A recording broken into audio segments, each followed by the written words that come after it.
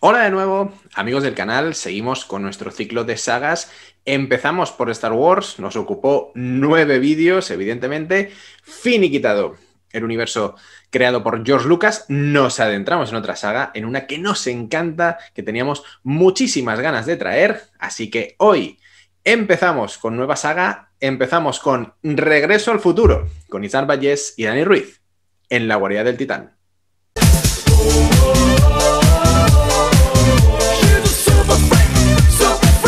Teníamos tantas ganas de cambiar de registro que hemos cambiado de director, hemos cambiado de actores, hemos cambiado de productoras, hemos cambiado de guionista, hemos cambiado de compositor, pero no hemos cambiado de, productor ejecutivo porque por ahí estaba una tal Catherine Kennedy como productora ejecutiva, pero bueno, eh, no, no, es lo mismo, ni mucho menos, no metía la mano porque ahí para meter la mano estaba Bob Gale, eh, que además era guionista junto a Robert Zemeckis de esta película que yo no sé si estaban muy seguros de lo que estaban haciendo cuando escribían el guion, pero se ha convertido en una de las mejores películas de la historia, una de las más entrañables y como diremos una y otra vez, con uno de los elencos más achuchables de la historia del cine.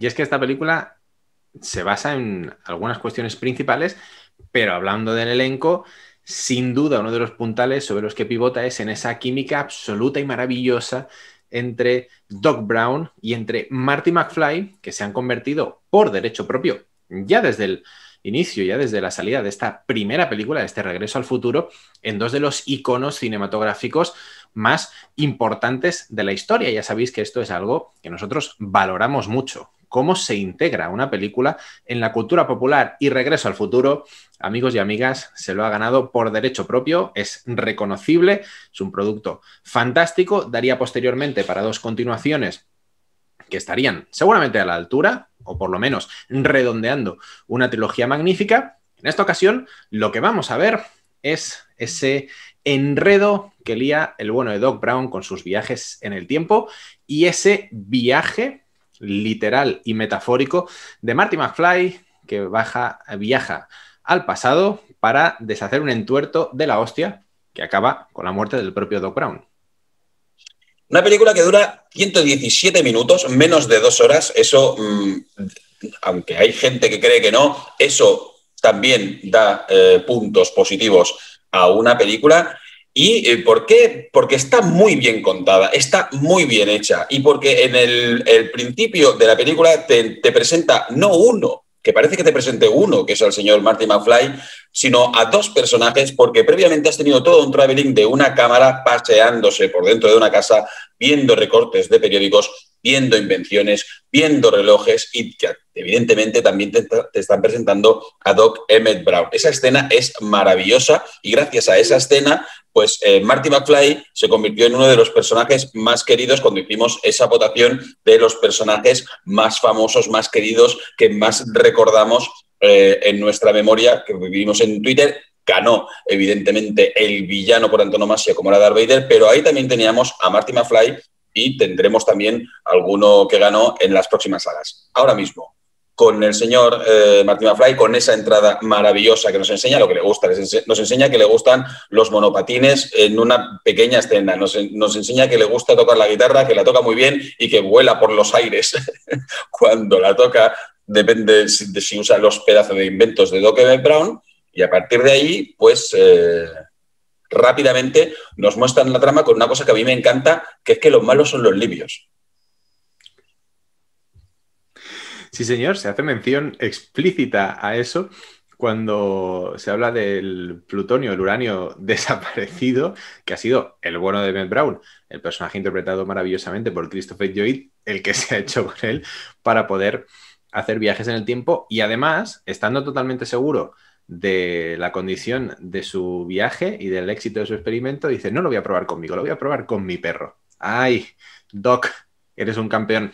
Representa perfectamente esa figura arquetípica del científico loco, de buen corazón en este caso, y un Marty McFly que hace de amigo y que además, como dices, nos presenta la película de forma maravillosa y que se ve en ese entuerto de viajar 30 años al pasado, del 85 al 55, para no desaparecer, para salvar a Emmett Brown, para hacer que sus padres se enamoren y que él pueda ser concebido. Evidentemente marcaría también un punto interesante o ahondaría en un punto interesante en cuanto a lo que son viajes en el tiempo y paradojas temporales. Luego esto se ha ido desmontando, sabemos que tiene lagunas por todas partes, pero la película funciona de forma maravillosa. Y también creo que el recurso de meter a un personaje actual en un momento que no es el suyo, en este caso en el pasado, sacarlo de su entorno, sacarlo de su rutina, sacarlo de todos sus puntos de referencia, lo hace tremendamente divertido, como decíamos antes también, porque las interpretaciones son una maravilla.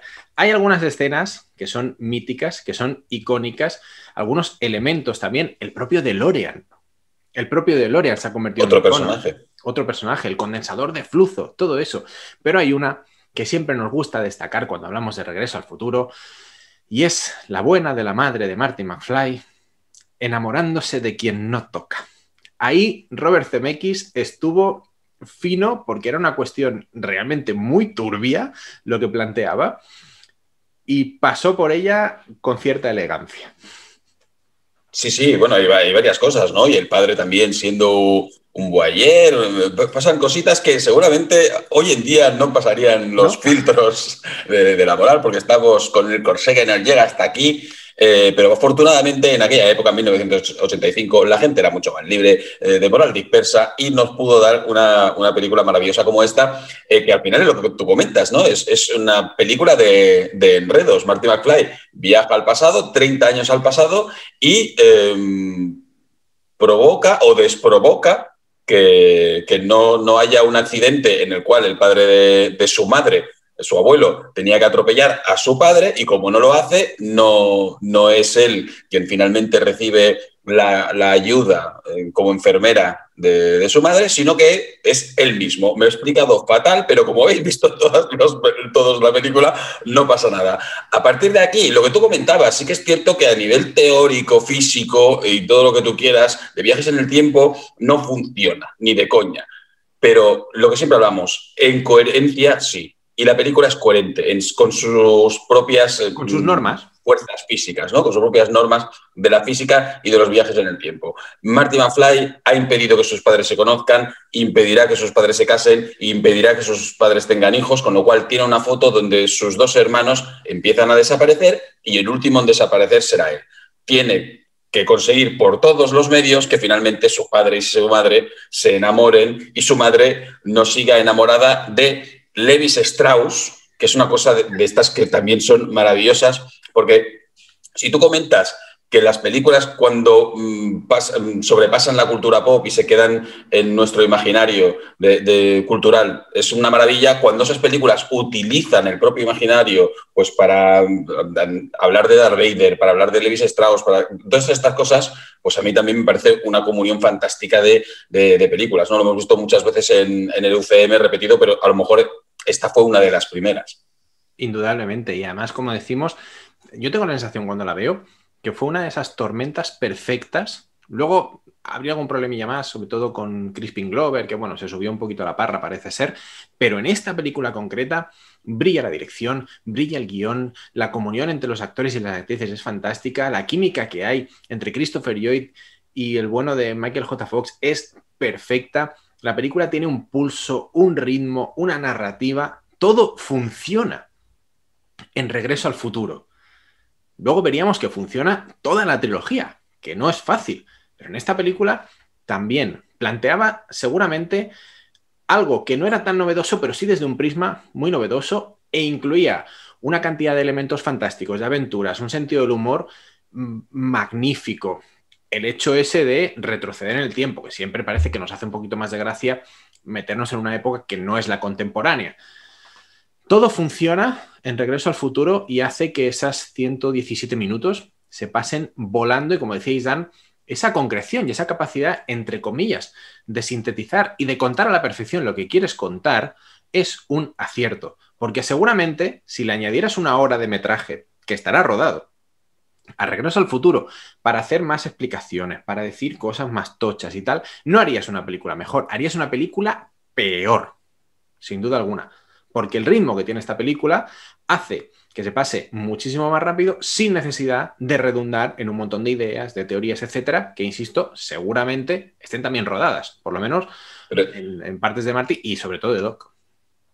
Pues que además te lo explica todo y es una maravilla, porque fijarse en los pequeños detalles, porque cuando eh, Doc Brown, Christopher que está delante del DeLorean, dice, hostia, por primera vez voy a poder usar este DeLorean, recuerdo cuando me di ese golpe en la cabeza y eso luego lo usa eh, Marty McFly para convencer a Doc Brown del pasado de que realmente él viene del futuro, ¿no? Todos estos pequeños detalles que rápidamente te explican lo que es 1,21 gigavatios y tú recuerdas que estaban dando los papeles para arreglar el reloj de la torre, el, pueblo, el reloj de la torre, todo también se convierte en un personaje, todo, todo es necesario, incluso el, chaval este que barre el, bar que al final le dice, oye, pues tú eres el alcalde, oh sí, yo podría ser alcalde.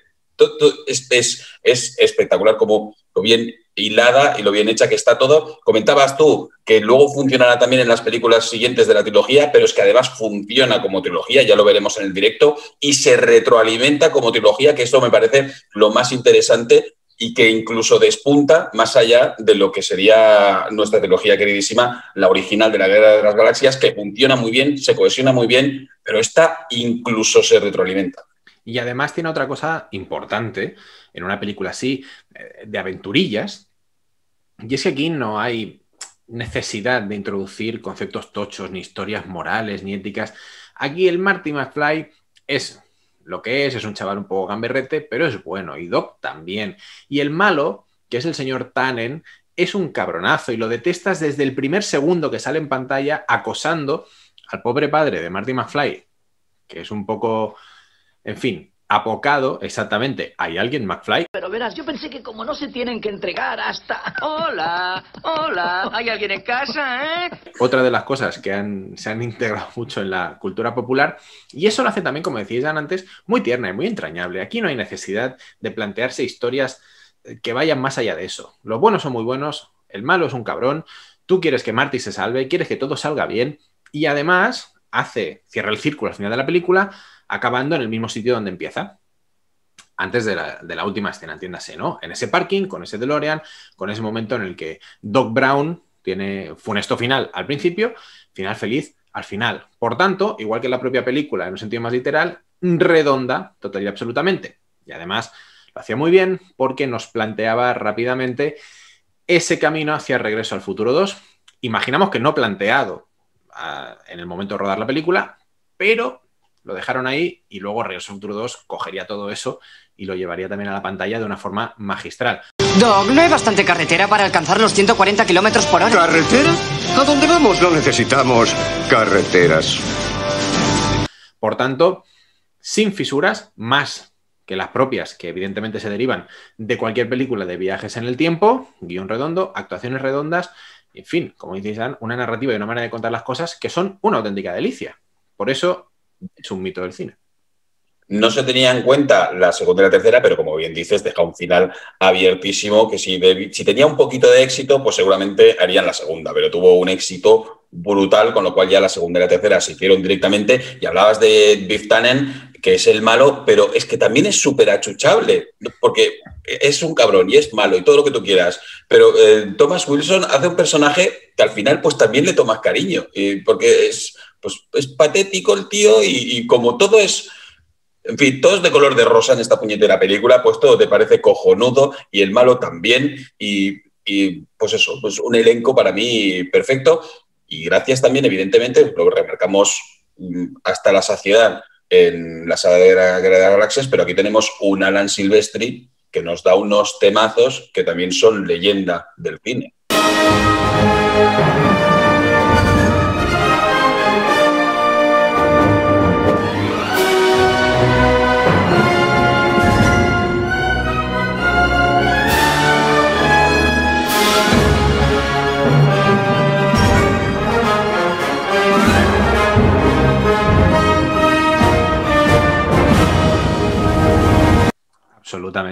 Y respecto a esto que decíamos de que no habría un planteamiento, por supuesto, de hacer una trilogía, yo tengo la sensación de que cuando haces una película así, igual que cuando haces un disco que acaba siendo absolutamente mítico, tiene que haber una cierta sensación en el set de rodaje, a la hora de montar, cuando ves el, el montaje final, hostia, no sabes cómo va a funcionar a nivel de público, porque bueno, mira, eso al final, o a nivel de crítica, pero tienes que tener la sensación, Spielberg, que estaba por ahí metido también, Robert Zemeckis, yo creo que se tenían que oler que eso iba a ser un pepinazo.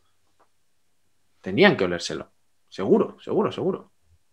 Pues eh, seguramente sí. A ver, el señor Steven Spielberg no produce cualquier cosa, pero en fin, al, alguna cagada había habido por ahí y me parece que, mm, de hecho, con, con, Bob Gale y Robert Zemeckis, porque fueron guionistas de 1941, la cosa en aquella película no cabe de salir bien, aunque a mí me gustó muchísimo.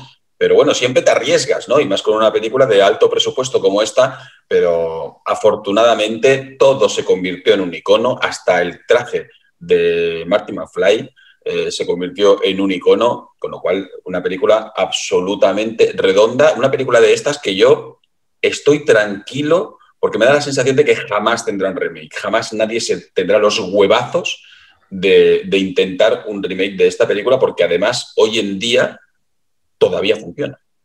Exacto. El propio Robert Zemeckis ha dicho en muchas ocasiones que él espera que no se haga ningún reboot, ningún remake, que dejen la trilogía como está, que no la toquen mucho y estamos de acuerdo, sin duda. Incluso no digo que esté a la altura porque tampoco fue una trilogía, fue una película sola. Incluso Jumanji, que parecía un producto cerradito, empaquetadito, todo bien perfecto. Bueno, hay quien se ha atrevido a darle una vuelta de tuerca. Por favor, regresa al futuro, que no nos lo toquen, que lo dejen como está. Como dice Isam, es que funciona perfecto en el 2021, igual que en el año 85. Así que no hay necesidad. Es auténticamente maravillosa, carismática, icónica y redonda. Y me parece que no hay nada más que decir. Pues no hay nada más que decir, la dejamos aquí. En la primera película de la saga, la primera piedra de este regreso al futuro, que nos ha llevado al futuro, que nos llevará al, que nos ha llevado al pasado, que nos llevará al futuro y que nos llevará todavía después más al pasado y finalmente nos llevará a un directo para hablar de todas ellas. Pero lo dejamos aquí, regreso al futuro con Michael J. Fox, con Christopher Lloyd, con Robert MX como director. Volveremos con la segunda con Dani Ruiz y Sam Yes en la guarida del Titán.